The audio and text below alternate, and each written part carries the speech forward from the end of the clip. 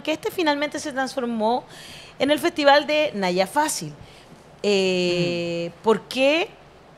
¿Qué es lo que ella demuestra dentro de... eh, eh, y es interesante que haya terminado abriendo una influencer criticada por muchas cosas, un debate que tiene que ver con la sociedad.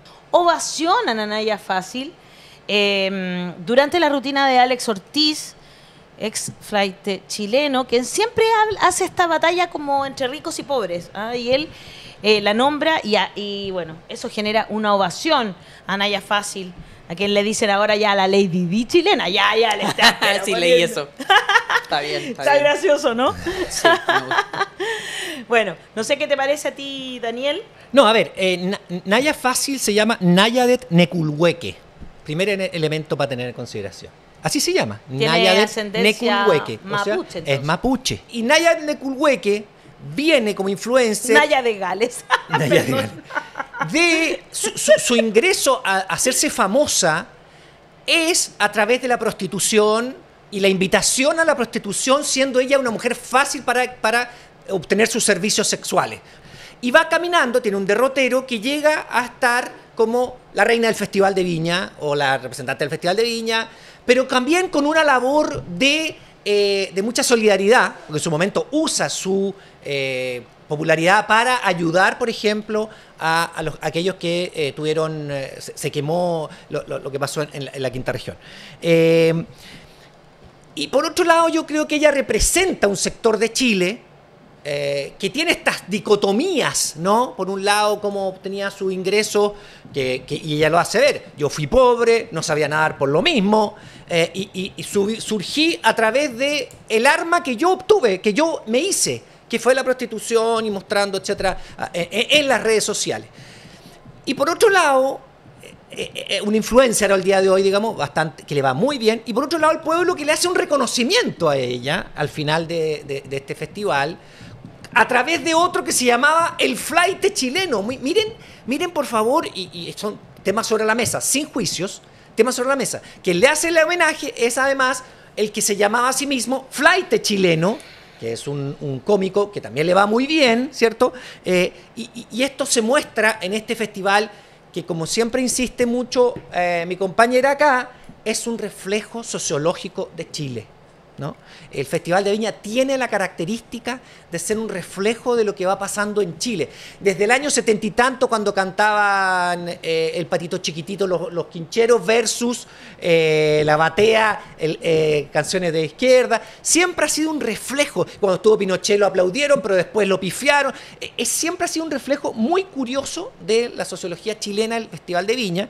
Y esto también se refleja este año, no es distinto a los años anteriores. No sé si, si concuerdan o no. pero- Absolutamente. Si lo único que es, solo decir que efectivamente esto eh, fue así y fue poco politizado y quizás a es mí un año menos es politizado y eso también lo que me llama la atención. Sí, estoy de acuerdo. Ah, Es menos politizado y creo que tiene que ver justamente con el momento que estamos viviendo. Absolutamente. Donde hay un, des- un desapego completo con la política, se meten a los políticos todos en el mismo saco eh, de la corrupción.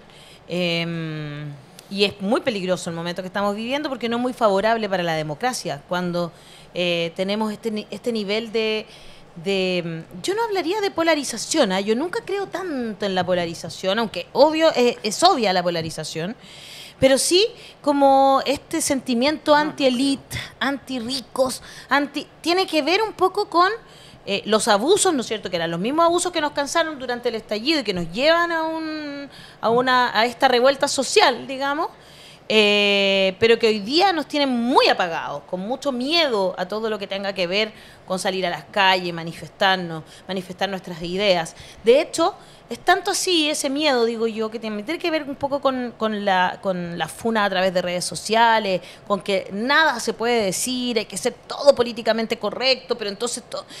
Y eso nos tiene como muy atajados con nuestras opiniones que a la misma raya, y yo creo que por eso llamó tanto la atención la opinión que, que- que finalmente di la semana pasada, pero que representa la opinión que este equipo tiene, eh, y que tiene que ver con que por qué nos enojamos tanto y nos molesta tanto que Naya Fácil diga que ella no tuvo la posibilidad de aprender a nadar. Sí. porque ese privilegio que tuvimos algunos, que no siempre tiene que ver con dinero. Yo fui de verdad a una piscina pública a hacerlo. Pero yo decía la semana pasada, no puede depender del alcalde de turno y de su interés en que los niños y los jóvenes aprendan a nadar, que efectivamente tengamos la posibilidad de hacerlo, Hassan. Em, lo de, de Naya Fácil también lo encuentro como fascinante, Sí. realmente, porque es parte de las contradicciones colectivas, ¿no? El alma de Chile tiene contradicciones como cada chileno chilena tiene contradicciones internas y se refleja súper bien. De cierta manera, Naya Fácil y Sebastián Piñera son los protagonistas del momento. Y más allá, pues, es decir, una cosa impopular, sin juzgar a ninguno de los dos. ¿ya? Uno puede juzgar en otro momento, pero los dos lo que están haciendo es tratando de sobrevivir aprovechándose de, de los muy disímiles ah, ventajas que tienen. Pero es la lucha de supervivencia de ser humano de forma bastante dramática de las dos personas y uno ve eso y uno pregunta acá, ¿cuál es el sentido de la vida? ¿Cuál es la, ah, la forma que uno puede vivir de, man- eh, eh, de- de manera plena, ya, sobreviviendo con todas las dificultades que uno tiene, que tiene cada eh, vida humana? Y pasa lo mismo con Naya Fácil al final. Son personas cu- cuyo dramatismo genera, por supuesto, mucho, eh, mucha crítica por la prostitución, por la cosa que, eh, que hizo, y mucho apoyo también por la manera en que está logrando sobrevivir.